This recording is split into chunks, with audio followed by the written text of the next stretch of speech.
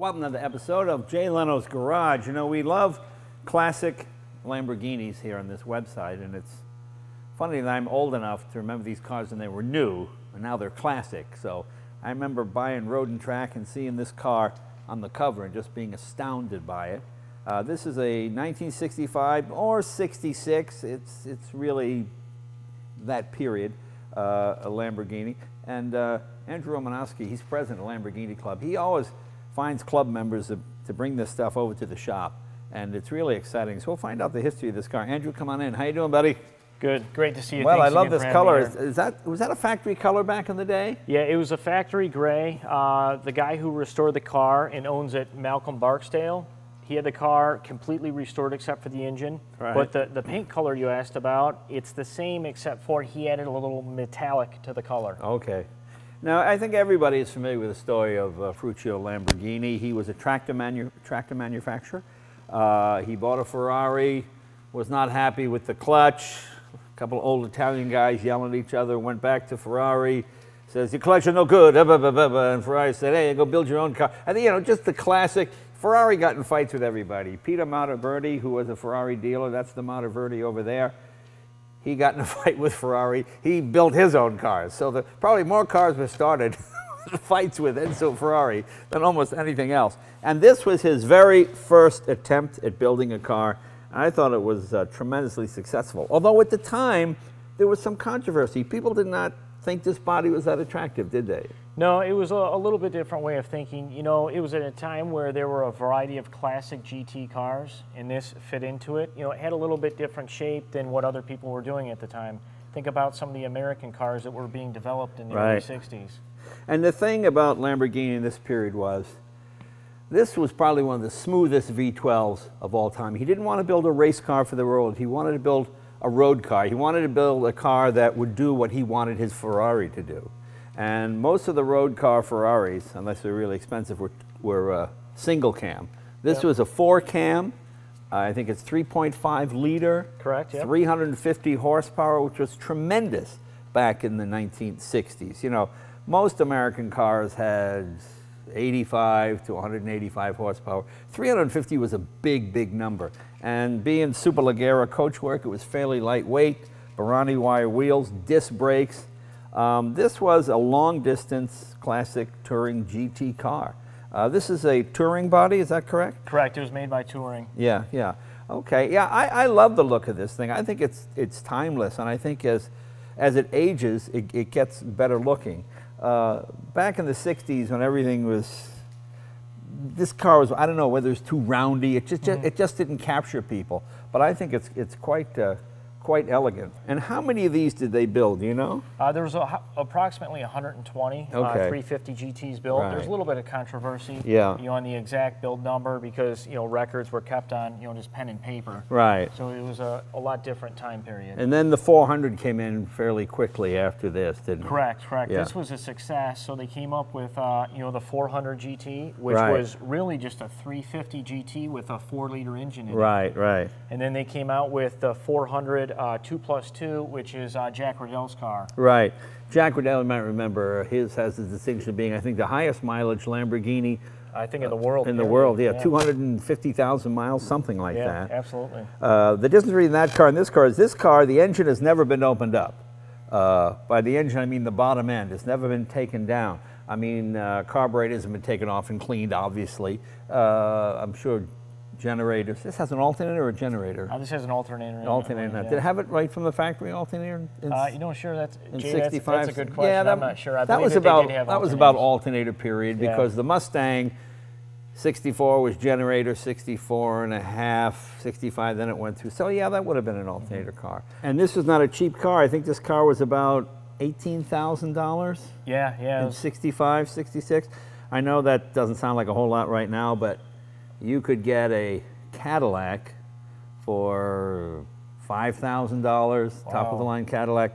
Mercedes was probably seven to eight thousand dollars, so eighteen thousand dollars. The Miura was twenty-two thousand five hundred dollars.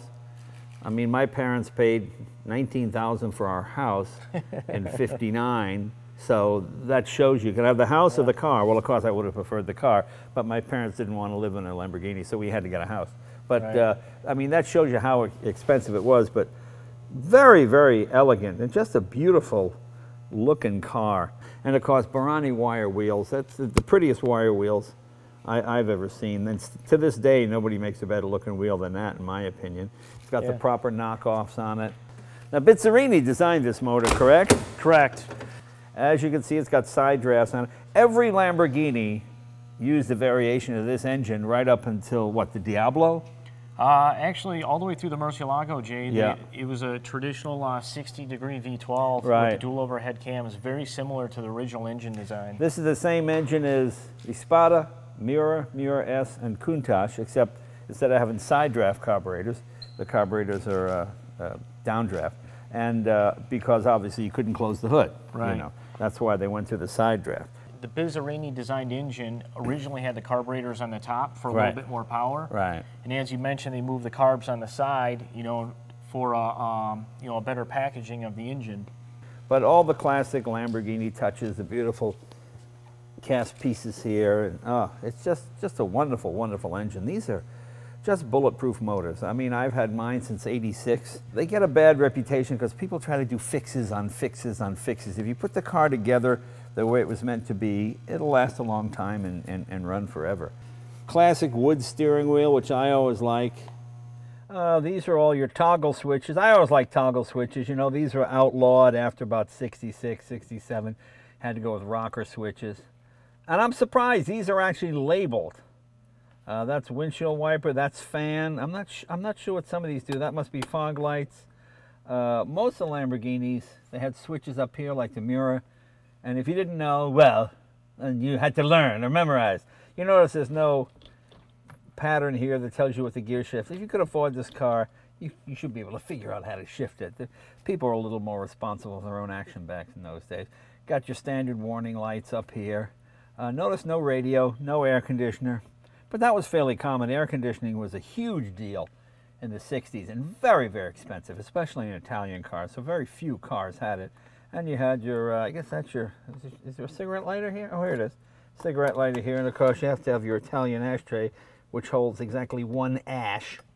And then you lock that like that. But just beautifully laid out. I like the sort of Art Deco looking numbers. I like that font that they use. That's really period correct. He's got a little navigation unit here. Your glove box. There you go. Actually holds a pair of gloves. Uh, beautiful leather interior, but very straightforward, easy to understand. You know, most American cars just had idiot lights like this back in the 50s and 60s. So to see actual gauges, amp, uh, fuel, temperature, water temperature, and of course uh, you have your speedometer and uh, kilometers per hour, and of course your tachometer right here. Notice the red line's at 7,000, which was unbelievable back in the day. Uh, most American cars peaked out at 5,200, so to, and 6,000 was the end of the world. So I have a car that with the red line was 7,000. In fact, I remember there was a movie with James Caan called Red Line 7000, and people are like going crazy. Oh my God, 7,000 miles! So that uh, it's just, just all the kind of fun period stuff. Something else interesting, Jay, this is an aluminum body car. Right. You know, which was uh, you know nice. It's a little bit more you know work when you're restoring a car to work on an aluminum body. Right. You know, as you know, but it, it created a, a lightweight platform for the car. Right. You know, the performance specs on this car for the time were you know tremendous. Yeah. You Yeah. know, Because anything under zero to sixty under seven seconds was just lightning bolt. yeah, fast, absolutely, you know. especially in that time period. Yeah. As you mentioned, the horsepower you know during this time is uh, you know unheard of. Yeah, yeah, and it has the right here. What does it say? Oh, super Leggera construction. Yep. Which I guess translates loosely to super lightweight. Correct. Uh, you know, all tubes and uh, impossible to repair if you get an accident, but but Yeah. very fast, but very s- strong and very lightweight. Now we have a book here. This is kind of cool. This is what I like. You get all the original. It's amazing that the owner of the car, Malcolm, was able to get some of these materials. Yeah. You know, he's got a factory brochure there. I remember going to the auto show and getting tons of these Uh-huh. and reading them, and then my parents using them as coasters, and then they Oh, got thrown. no. And now they're like five hundred dollars a piece. Yeah, absolutely. Oh, so you got that, and you've got, uh, and this is the really cool part. These are all the factory uh, um, spec sheets on the car when Correct. you know. These were the documents created when the car was built. Here's the uh, exterior color uh, here. Right. Here's the uh, interior color. Okay, see, I can't tell if I'm reading an Italian menu if that's the color, but it's all in Italian. And Absolutely. He says, he says, all the number here, he's the number here. He got- got it, don't say, got everything. I mean, it's just, where did he get all this? From the factory? Yeah, he was able to get these documents from the factory, which is, uh, you know, Okay, here's the car.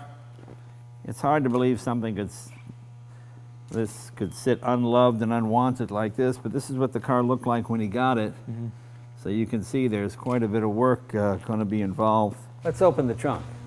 You know, something we always talk about, Jay, when we bring the cars in is the, the limited trunk space, you Yeah. know, which they are obviously. But this one, interestingly, uh, maybe with the front engine configuration, actually has a trunk. Yeah, it actually has a trunk. I can know? see you're not married because you're not going anywhere. Two people with that. I mean, Well- if you're a guy, you can stuff some underwear in there and a toothbrush, but that's about it. But but you actually got quite a bit of space behind the seat as well. Right. All these cars used to come with fitted luggage. I, I never quite.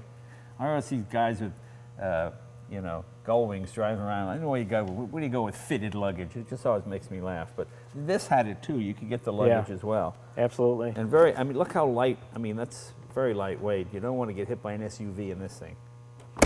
There you go, and she just seals nicely. Let's take it for a ride. Well, this car drives very much like my uh, Espada. You know, the interesting thing about cars from this period, it's not that it has a lot of horsepower, which it does for the period, that it has such usable, smooth horsepower. It's very turbine-like. You know, when you had 350 horses in an American car back in the 60s, you know, you're thinking uh, Hemis and, you know, big Right. motors and, you know, cami deals, solid lifters, all that kind of thing. These are turbine-like. You know, modern engines are so smooth, even four cylinders are smooth as kind of the early 12s. But Right. I remember David E. Davis used to say in Car and Driver, everybody should drive a V12 car at least once in their life just to get that smooth rush of torque. And this is really where it comes from. Very sophisticated engine, you know, twin cam, two valve, which is uh, the height of Exotica back in the 60s. Absolutely. You know, nowadays you can get an Econo box that has a twin cam engine. Doesn't seem like anything, but that was uh, pretty cool stuff. Very nice car to drive, good sight lines. You can see the hood seems extremely short when you're sitting in the uh, behind the wheel, unlike the Espada, which has that long, low hood. I mean, it's really a nice size automobile. You know, when you see pictures of these things, they appear big when you see them sitting by themselves, but proportionately, it's a very nice car. And it's raining here, so we're not going to uh, go too crazy. You know, most of the modern Lamborghinis are rear engine cars. Right. And this is a front engine uh, car. Right. You know, how does it change the, the Lamborghini experience in driving this? You for- know, I always like front engine cars. To me, it's that classic sort of uh, style. I grew up in an era when everything was front engine, where mid engine was the, the odd way to go. You know, these cars track very nicely. Mid engine is something that really pays huge dividends, I think, on the track. On the street, the advantage to a front engine car is engines in the front, transmissions in the middle, rear ends in the back, and it's easy to work on everything. You know, front wheel drive, really tight and complicated under the hood, and mid engine, you're standing on the interior trying to get into it. You know, I remember Right. guys with 914 Porsches traipsing all over the seats, and it- your back goes out leaning over trying to work on the thing. So this was uh, this was an exotic car you can actually work on yourself. This is not really a complicated car. I mean, it did seem complicated back in the day, but ignition, oil filters, everything is easily accessible. Even the valve covers, you don't have to take a lot off to get to them. The great thing with this is just the long pull, any gear. These are really driver's cars. You know, you don't have power steering. Uh, everything is nicely weighted. The greatness of the Lamborghini of, these, of this period was they were no compromise road cars. Ferruccio did not want to go racing. He didn't see the value in it. He wanted to build cars that people could drive swiftly across the continent of Europe at high speed, you know, with your mistress sitting next to you and smoking a cigarette. Ferraris and uh, Maseratis, these were mostly race cars detuned for the street. and you had to, they sputtered and choked when you went slow, and you had to get out and, you know, rev them hard. And do, I mean, there was work involved. Ferruccio wanted a car where a guy could get in, press the clutch down, everything was smooth and interacted. It wasn't all about ultimate horsepower, ultimate speed. It was about sophistication. And that's where Lamborghini really, uh, I think, aced out Ferrari in those days was it was a sophisticated car that uh, just had a lot of class and was easy to operate and was reasonably dependable. But this is a wonderful GT car. If I had to compare it to a modern car, I would compare it to like an Aston Martin DB9. Not an all-out race car, not a supercar for the street, but a very competent, high-speed, uh, extremely comfortable, um, fascinating car to drive. You know, this everything's very linear. You step on the gas, and you don't lurch forward. You you pull forwards. You make progress swiftly. Put it that way. Yeah. That's what's kind of fun about it. But when you get those revs up, you know this this was meant to secure the Lamborghini name. They're very carefully put together and very well put together. Very sophisticated car.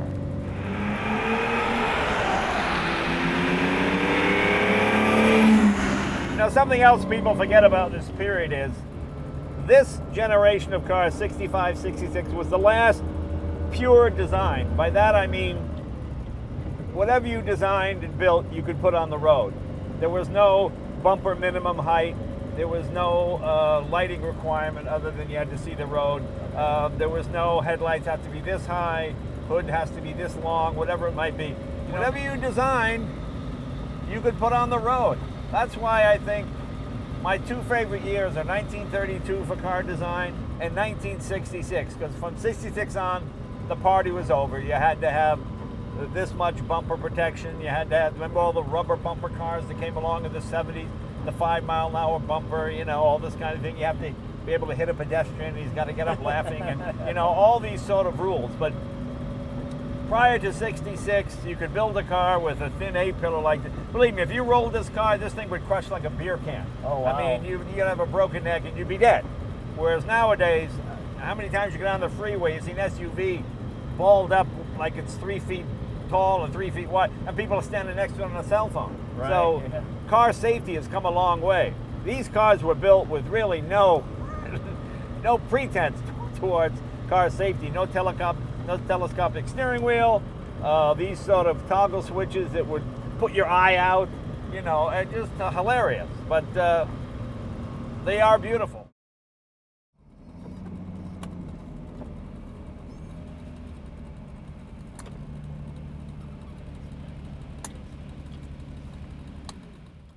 Wow, what an automobile.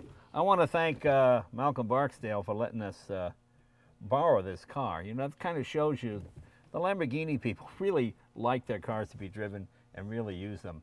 And uh, as someone who, I remember being in eighth grade with my road and track, sitting in math class, reading about this car. You know, just getting a chance to drive it, it it's such a thrill because it seems so exotic. And it, and it is. It really is an exotic automobile. And to think that this is a 50-year-old car that you could drive to San Francisco tomorrow. Uh, they drove it up from San Diego in the rain. Uh, so that shows you the uh, Lamborghini guys really use their automobiles in, in, as, as they were intended. So Malcolm, thank you very much. This was uh, quite a thrill. I'm sorry you couldn't be here, but I hope you can come up in person. And no, we didn't scratch it or anything, and we're not going to do a burnout. And uh, once again, thanks for uh, just a thrill of a lifetime. This is kind of a boyhood dream come true. See you guys next week.